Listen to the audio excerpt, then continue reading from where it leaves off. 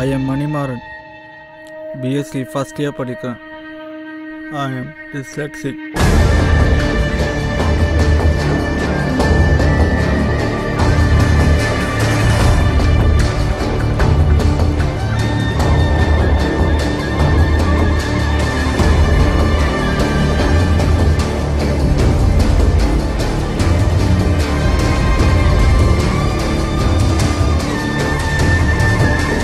Ha ha ha ha ha!